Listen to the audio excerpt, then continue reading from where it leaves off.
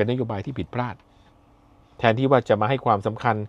กับคนภายในประเทศ สนับสนุนคนภายในประเทศ แต่กลับสนับสนุนคนต่างประเทศ นโยบายนี้ผมเรียนให้ทราบนะครับ กลุ่มผู้รักชาติก็เคลื่อนไหว ที่จะคัดค้านมติคำตรี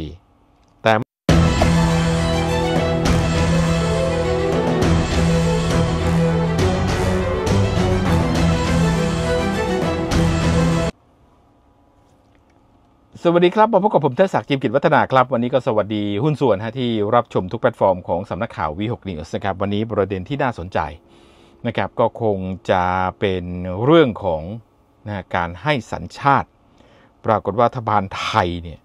ก็กลับจู่ๆจะมีการให้สัญชาตินะครับกลุ่มผู้อพยพ บุตรที่เกิดในประเทศไทย 483,000 ราย พร้อมประกาศใช้นะไม่เกิน 60 วัน อ้างว่า ทุกฝ่ายจะได้ประโยชน์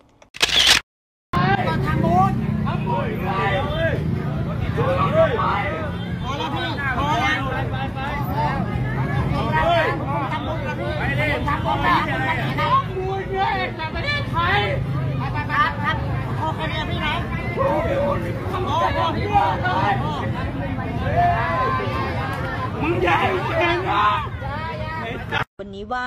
หัวหน้าแก๊ง RUK ที่ดังกระชอนอยู่ในโลกโซเชียล มีชื่อว่าแอคเน่ผู้ชายตัวอ้วนๆที่ถืออาวุธอยู่ในมือ และถ่ายคลิปลงในโซเชียลมีเดีย ซึ่งตอนนี้ทราบจากทหารกะเหรี่ยงว่า ภายหลังเจ้าหน้าที่ตำรวจของไทยได้กดดันอย่างหนัก ส่งผลให้แอคเน่ต้องเพ่นหนีออกไปทางชายแดนแม่สอด กระทั่งล่าสุด ทหารกะเหรี่ยงที่ชื่อว่าหัวหน้าเล็ก ก็ได้ส่งข้อความมาหาเต้อาชีวะ พร้อมออกปากรับคำว่าจะช่วยจัดการให้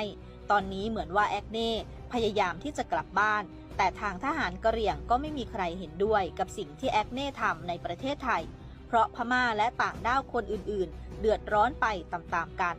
โดยข้อความที่หมวดเล็กส่งมาหาเต้อาชีวะ ระบุว่า สวัสดีครับพี่เต้ ผมเป็น FC พี่นะครับ ผมชื่อหัวหน้าเล็ก หรือเรียกหมวดเล็กก็ได้ครับ ผมเป็นทหาร KNU ครับผม เด็กพวกนั้นผมเตือนมาสองรอบแล้วครับพี่ แต่เขาไม่ฟังผม ทางผู้ใหญ่ KNU ก็ไม่เอาครับพี่ เสียชื่อกระเหรี่ยงครับ ถ้าพี่จัดการได้ทางไหนก็เต็มที่นะพี่ พวกผมจะหลับตาให้ครับพี่ แกล้งมองไม่เห็น แกล้งไม่ได้ยินครับ ซาดีนักให้มันหายซาสักทีพี่ ขอบคุณครับพี่เต้ ผมติดตามพี่ตลอดนะครับ ผมให้น้องชายผมจัดการนะ เด็กพวกนี้มันไม่กล้าอยู่ประเทศไทยแล้ว มันหนีกลับไปบ้านไอ้อ้วนนั่นน่ะ พวกผมจะไปจับมันส่งไปทางพื้นที่ของ KNU มันซาดีนัก นี่เหรอแก๊งเมื่อกี้ไงนี่เหรอเออวัยรุ่นศูนย์สามเจ็ดเฮ้ยเฮ้วัยยรุ่นถามได้หน่อยดิโอ้ยฝนตกอะถามได้หน่อยได้ไหมไม่มีอะไรไม่มีอะไรไม่มีไรถามก่อน หลบฝนก่อนหลบฝนก่อนเราด้วย เราด้วยเป็นไงบ้างมาจากไหนบางทีได้แก๊งเราสามเจ็ดอยู่ไหนก่อน โดนยังรวมตัวอยู่ไหมเลิกยังเลิกแล้วนะทำไมเลิกอะเราด้วยเหรอเราด้วยเหรอเราอยู่กับเขาปะเราอยู่ด้วยกันปะชุดเดียวกันใช่ไหมไม่เข้าใจเป็นเพื่อนกันเอามาเล่นไม่เตรียมมากูไม่ได้มาเลือยูเคยูเคนอกสายตากูทำไอ้แก๊งเนี้ยทำสายตาเลิกได้ปะ เออประเทศไทยไม่เอาทำให้มันถูก ไม่พออย่าไปอย่าไปถ่ายไปเยอะเดี๋ยวเขาตัวลงเอาเป็นว่าอย่างนี้ เองอะอยากจะมาเที่ยวที่ว่านะเองมาแบบคนเดียวไปแต่อย่าตั้งตั้งแก๊งนะถึงถึงนี่ถึงปืนไม่เอานะสัญญาดิสัญญาไม่เอาไม่เอาเลยนะเขาบอกไม่ได้เอาปืนมาวันนี้ไม่เอามาวันนี้เอามาอยู่ไม่บ้านเอามาเหรอ วันนี้เลยไม่เอามาวันนี้ไม่เอามา วันนี้ไม่เอามาด้วยบอกวันนี้ไม่เอามาด้วยนะเอาเอาเอาเรื่อยๆนะเราเราทำงานก็ทำงานกับบอกเพื่อนด้วยบอกไม่รู้ไง อ่ารู้ เที่ยวไม่เป็นไรหรอกไม่ได้ไม่ได้ แล้วอย่าไปขู่คนไทยเขานะว่าเฮ้ยกูเดินไม่ได้ห้างเนี้ยนะบอกพวกเราเลยสามจุดรู้จักปะรู้จักมึงไปบอกพวกมันด้วยนะแล้วรู้จักผมไหมรู้จักผมไหมเคยพูดอะไรกันด้วยแล้วมึงจะบอกให้เรื่องอะไรเนี่ยไอ้ศูนย์สามเจ็ดนี่ชื่ออะไรไอ้เล็กอะไอ้เล็กเป็นหัวหน้ามึงเหรอละบอกเล็กเล็ก หมายเลขอะไรจะหาข้อเท็จจริงทั้งหมด เพื่อ ยื่นคัดค้านในมติคลมฉบับเนี้ยหนึ่งยื่นคัดค้านมติคลมสองยี่สี่กันยาสองห้าหกเจ็ดขอหน่อยยื่นคัดค้านมติคลมสองห้าหกเจ็ดเรื่องบริหารจัดการการทำงานของคนต่างด้าว พุทธศักราช2567 และแก้พระราชกำหนด การทำงานของแรงงานต่างด้าว ผมจะยื่นเรื่องนี้ แผ่นหนึ่งนะ แผ่นที่หนึ่งแผ่นที่สองยื่น เสนอเข้าแก้กฎหมาย พี่จะได้สองแผ่นเซ็นแม่งสองแผ่น แต่แต่นะพี่นะ ฟังผมนะ แต่วันที่ 27 ผมต้องการตัวแทนแต่ละจังหวัด ที่สามารถจะช่วยผมได้ ทั้งบ้านฟ้า ทั้งติ๊กตอกที่ใครจะมาเสวนาผม เป็นตัวแทน 25 คน จะเอาชื่อพวกท่าน 25 คนเพื่ออะไรนะ ยื่นให้กับเลขา ยื่นให้กับเลขา ประธานสภา เพื่ออนุมัติในการร่างพรบแก้กฎหมาย นี่คือเรื่องที่หนึ่งนะ เดี๋ยวผมอ่านให้ฟัง อันไหน ข้อสำคัญ ร่างพรบว่าด้วย เรื่องอ่าจุดๆก่อนนะ เดี๋ยวผมบอกอีกทีหนึ่งรายชื่อผู้ริเริ่มจำนวน 25 คนแนบหมายเลขบัตรประชาชนใน 25 ใน 25 คน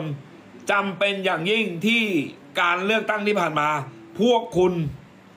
จะต้องมีการเลือกตั้ง จะต้องไปใส่เสียง จะต้องไม่เสียสิทธิ์ พวกคุณที่จะเป็น 25 คนตัวแทนของหมู่บ้าน ขอบคุณมากครับพี่ครับ ตัวแทนของหมู่บ้านนะนำส่งเลขาประธานสภา ผมรู้จัก ไอ้ผมไม่รู้จัก ไอโอมรู้จัก ขั้นตอนต่อมาเมื่อเลขาประธานสภาได้รับร่างแล้ว จะนำตรวจสอบ ความถูกต้องและพิสูจน์อักษรพิสูจน์ชื่อเรา หลังจากนั้นเลขาจะนำเสนอประธานสภา ประธานสภานะครับ หากร่างพรบว่าด้วยจุดจุดที่เราเขียนไปพุทธศักราช2567จุดปุ๊บเขียนไม่ถูก ต้องหรือไม่ครบถ้วนเลขาจะแจ้งให้ไปแก้ไขจุดที่ไม่ถูกต้องเพื่อให้ส่งเข้าไปใหม่ได้นะครับ แต่เดี๋ยวผมจะเป็นตัวแทนให้ ไม่ใช่พิสูจน์ชื่อพิสูจน์ร่างพิสูจน์ร่างก่อนเออพิสูจน์ร่างพูดผิด แต่ถ้าผ่านทุกอย่างผ่านเสร็จปุ๊บเขาก็จะบอกว่า ตั้งชื่อร่างพรบว่าด้วยอะไร เขียนชื่อเรื่องนำจะนำเสนอทำจุดไข่ปลาไม่ต้องลงตัวเลข ไม่ต้องลงตัวเลขหมายความว่าจำนวนคนใช่ไหม เราจะล่ารายชื่อเนี่ย เราไม่ต้องใส่ตัวเลขใช่ปะอ่า จุดไข่ปลาไว้ก่อน แล้วเดี๋ยวเรามาล่ารายชื่อกันใน 25 คนก็จะเป็นตัวแทนในการล่ารายชื่ออ่าส่งเป็นไฟล์ได้ส่งเป็นไฟล์ได้แล้วนะ ไปยื่นหนังสือ 25 คนก่อนนะ แล้วยื่นฉบับนี้เสร็จก่อนนะ คัดค้านมติครมก่อนนะ ยื่นอันนี้ก่อน คัดค้านไปก่อน พอคัดค้านเสร็จปุ๊บเราจะแก้แล้วเราก็จะยื่น 25 คน พอยื่นที่25 คน 25 คนจะระดมล่ารายชื่อ ภายในเวลา 20 วัน 20 วันต้องมี 50,000รายชื่อ มั่นใจว่าทำได้ก็ทำมั่นใจว่าไหว บ้านฟ้าไหวไหมทีทีไหวไหม ตั้งโต๊ะได้ครับ ตั้งโต๊ะล่ารายชื่อได้เลย และเดี๋ยวผมจะเดินล่ารายชื่อด้วย ผมจะไปตามจังหวัดต่างๆ ล่ารายชื่อ ร่วมกับพี่ๆทุกคนที่เป็นหัวคะแนนทั้งหมด 25 คน ผมจะไปตามจุดต่างๆ เลย ทั่วประเทศไทย และถ้าผ่านจุดยุทธศาสตร์นะ ถ้าผ่านมันจะสามารถร่างผ่านเรื่องนี้กลายเป็นเรื่องช็อกเลยทีเดียวฮะเริ่มต้นก็ตั้มอาชีวะ ก็เอามาเปิดเผยเรื่องนี้ นะครับเหตุการณ์นี้เกิดขึ้นตั้งแต่วันที่ 29 ตุลาคมนะจิรยุหวนทรัพย์โฆษกสำนักนายกรัฐมนตรี ได้ถแถลงหลังการประชุมคณะรัฐมนตรีนะครับว่าสภาความมั่นคงแห่งชาติหรือสอมช ได้มีการเสนออนุมัติหลักเกณฑ์ เร่งรัดการแก้ไขปัญหาสัญชาติ และสถานะบุคคลที่อพยพมาในราชอาณาจักรไทยเป็นเวลานาน และบุตรกลุ่มนี้เกิดในราชอาณาจักรไทยที่ ทดแทนมติครมนะครับเมื่อ 26 มกราคมปี 2564 ซึ่งปัจจุบันผู้อพยพที่มาอยู่ในไทยเป็นเวลานานกลุ่มแรกตั้งแต่ปี 2527 ถึง 2564 ขอไปฮะ ถึง 2,542 นะครับ มีประมาณ 120,000 คน และกลุ่มที่ 2 เมื่อปี 2548 ถึงปี 2554 มีประมาณ 215,000 คน กลุ่มที่3นะกลุ่มบุตรที่เกิดในราชอาณาจักรไทยของชนกลุ่มน้อยนะครับมีประมาณ 29,000 คนและกลุ่มที่ 4 กลุ่มบุตรที่เกิดในราชอาณาจักรของบุคคลที่มีสถานะทางทะเบียน โดยมีการสำรวจไปแล้วประมาณ 113,000 คน ประมาณ 480,000 รวมทั้งหมด 483,000 คนนะครับนายจิรยุกล่าวว่า นะครับคณะรัฐมนตรีมีมติพิจารณาลดขั้นตอนต่างๆ เพราะหากการพิจารณาทั้ง 483,000 คน อาจใช้เวลาถึง 44 ปี ส่วนที่มีข้อสังเกตว่าการให้สัญชาติอาจทำให้ประเทศไทยเกิดผลกระทบ หรือไม่นั้น จิรายุก็บอกว่าที่ประชุมมติกรรมรีเห็นชอบในหลักการ และส่งให้กระทรวงมหาดไทย เป็นผู้ประกาศบังคับใช้ในรายละเอียดไม่น้อยกว่า 30 วัน และไม่เกินกว่า 60 วัน จิรยุกล่าวว่า คนทั้ง 483,000 คนเนี่ยนะฮะที่อยู่ในประเทศไทยมาเป็นเวลานาน สามารถทำงานได้ปกติ มีเอกสารสิทธิ์ ไทยจึงมีความเห็นว่าควรจะทำให้ถูกต้อง นะครับเพื่อให้คนเหล่านั้นสัญจรไปมา กระตุ้นสภาวะเศรษฐกิจ รู้ถิ่นฐานที่อยู่ที่ไปที่มาของคนเหล่านี้จึงอาจเชื่อว่าเป็นประโยชน์ต่อหลายภาคส่วน จากมติคำตรีดังกล่าวเกิดขึ้นมาผมนี่ถูกตั้งคำถามเยอะเลย เกิดอะไรขึ้นทำไมรัฐบาลนี้ ถึงไปมีมติคำตรีดังกล่าว เอื้อประโยชน์กับผู้อพยพนะครับ ทำไมที่ผ่านมาการเอื้อประโยชน์กับผู้อพยพ หรือแรงงานต่างด้าวที่มามีลูกในประเทศไทยนะครับ ผู้หลบหนีเข้าเมืองที่มาอยู่ในประเทศไทยเป็นเวลาช้านานทำไมเป็นแบบนั้นนะฮะสาเหตุก่อนผมจะอธิบายให้หุ้นส่วนทราบตั้งแต่ยุคสมัยพลเอกเปรมตินาสูรานนท์ตอนนั้นมีผู้ก่อการร้ายคอมมิวนิสต์ขึ้นมา ตั้งแต่สงครามจีนนู่นนะ มายุคพลเอกเปรม มีผู้ก่อการร้ายคอมมิวนิสต์นะครับ และมีความพยายามจะมาสร้างถิ่นฐานในประเทศไทยให้เพิ่มมากขึ้นเพื่อกระจาย โดยส่วนใหญ่ทำให้ตอนนี้คนไทยเชื้อสายจีนจึงมากที่สุดมากกว่าคนไทยเชื้อสายในฝั่งของสหภาพยุโรปนะครับ สิ่งที่เกิดขึ้นคือนอกจากคนจีนแล้วก็มีคนพม่าคนลาว แล้วก็คนเขมรแห่เข้ามายังประเทศไทยสาเหตุหลักๆ ที่มาในย่าหลังเนี่ย นะก็เริ่มมาตั้งแต่ยุคสมัยพลเอกเปรมสมัยคอมมิวนิสต์ละยุคหลังนี่เกิดอะไรขึ้น ยุคหลังนี่ก็ค่าแรงสามร้อยจากยุคยิ่งรักชินวัตรจะเอาห้าร้อยนะแล้วจะเอาหกร้อยตามดับในยุคเพื่อไทยแต่จนถึงขณะนี้ก็ยังทำไม่ได้ แต่ทำมาแล้วสามแล้วคนต่างชาติก็เลยแห่เข้ามายังประเทศไทย พอแห่เข้ามายังประเทศไทยสิ่งที่ตามมาคืออะไร แย่งงานคนไทยนะครับทำให้ตอนนี้ ร้านรวงต่างๆ ไม่ว่าจะเป็นในตลาดนอกตลาดร้านค้านะฮะร้านอาหารโดยส่วนใหญ่นะตอนนี้ก็เริ่มกลับกลายเป็นของคนต่างด้าวนะเป็นของพม่า เป็นของจีน ร้านหมาล่าทั้งหลายนะครับกระป๋องนงกระป๋องน้ำบินข้ามมาจากต่างประเทศนะครับไม่มีสัญลักษณ์ของออยเข้ามาเต็มไปหมดเลยนะอย่างที่เราเห็นตอนนี้ผลมงผลไม้ที่มาก็แห่มาจากประเทศจีนนะครับ คนจีนก็แห่เข้ามาลงทุนในประเทศไทย และมาอาศัยอยู่ในประเทศไทย คนพม่าหนีไปสงครามก็เฮเข้ามายังประเทศไทย เล่าเรื่องในอดีตที่ผ่านมาก่อนทำไมอะทำไมผู้หลักผู้ใหญ่นะครับผู้เฒ่าผู้แก่ตั้งแต่อดีตที่ผ่านมาทำไมให้ตั้งกระบวนการในการทำบัตรประชาชน ผู้พยพหรือแรงงานต่างด้าวยากเย็นนัก ประเทศไทยเป็นอันดับต้นๆเลยนะครับ ที่จะให้สัญชาติกับผู้หลบหนีแรงงานต่างด้าว บุคคลอพยพนะที่เข้ามาเกิดลูกในประเทศไทยยากที่สุด เพราะตั้งแต่อดีตที่ผ่านมานะฮะประเทศไทยคำหนึ่ง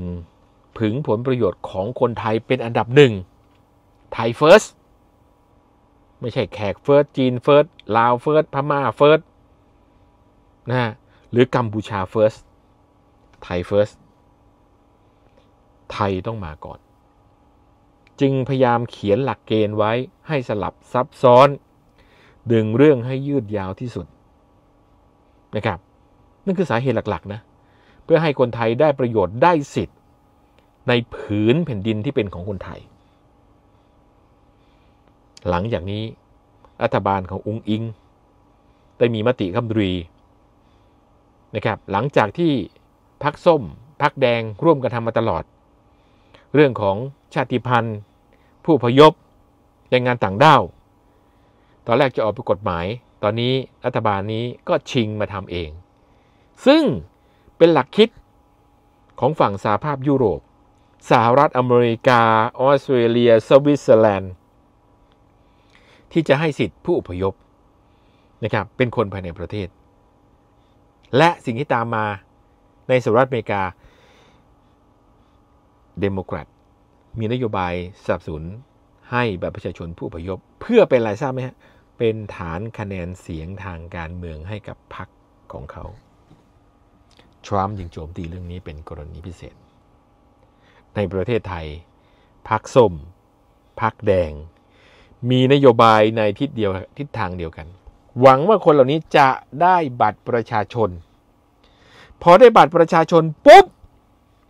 สิ่งที่ตามมาก็หวังว่าคนเหล่านี้ จะไปเลือกพวกเขานะฮะให้มากลับมาเป็นผู้ปกครองประเทศในการบริหารประเทศอีกครั้งหนึ่งนะครับนี่คือหลักเลย ถ้าเราจับหลักได้ แต่หลักแบบนี้ที่เกิดขึ้นในฝั่งสหภาพยุโรปกำลังมีปัญหาในสหรัฐอเมริกา และมีปัญหาหนักในประเทศสวิตเซอร์แลนด์ ประเทศสวิตเซอร์แลนด์ระยะแรก จ้างให้ผู้อพยพออกนอกประเทศไทยจ่าย3 0 0แสนปรากฏว่ามีคนออกไปน้อยมาก สุดท้ายจ่ายหัวละล้านให้ผู้อพยพเนี่ยออกไปจากประเทศสวิตเซอร์แลนด์ นี่คือสิ่งที่เกิดขึ้น เป็นนโยบายที่ผิดพลาด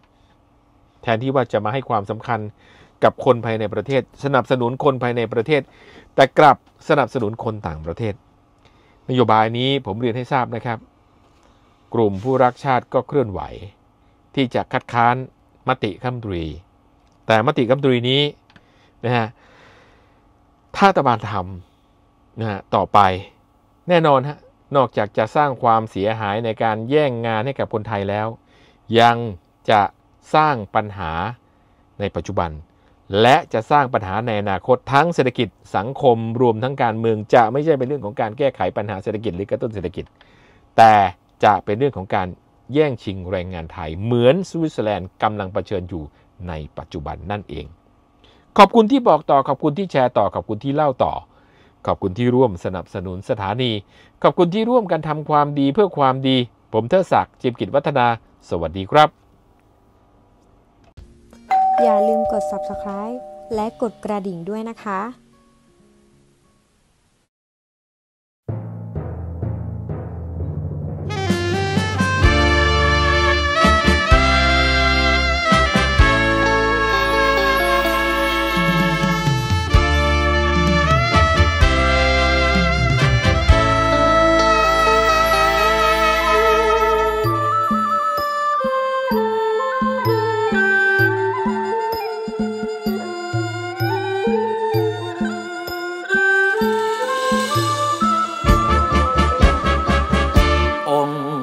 ษัตราไรฟ้าทั่วโลกโจดจันทัพผู้สร้างสรรค์ประธานรางวัลนานาทัพผู้ปิดทองหลังองค์พระปฏิมาถ้าคือราชา ผู้ครองแผ่นดินโดยธรรม ถ้าคือปราดพลังแห่งแผ่นดินถ้าคือภูมิน โลกได้ยินจดจำถ้าคือสา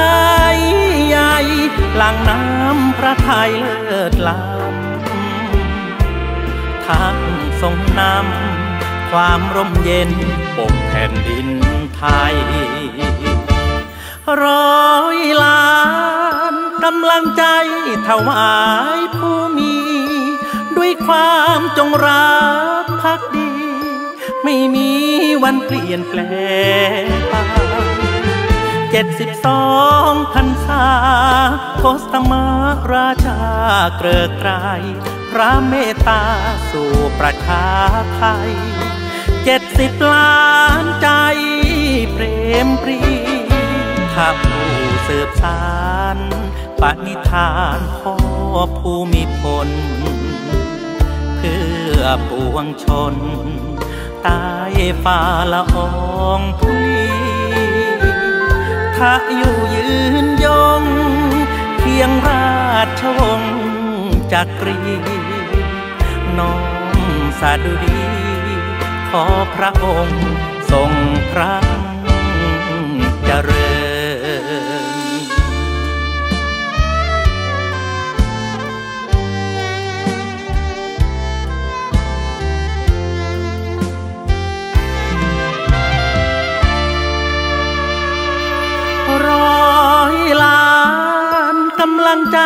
ถวายผู้มี ด้วยความจงรักภักดี ไม่มีวันเปลี่ยนแปลงไปเจ็ดสิบสองพันษาทสมาราชาเกริกไกรพระเมตตาสู่ประชาไทยเจ็ดสิบล้านใจเปรมปรีทัพผู้สืบสาร ปณิธานพ่อภูมิพล เพื่อปวงชนตายฟ้าละอองทุลีถ้าอยู่ยืนยงเพียงราชวงศ์จักรีน้อมสาดุดี ขอพระองค์ทรงพระเจริญ ร้อยล้านกำลังใจ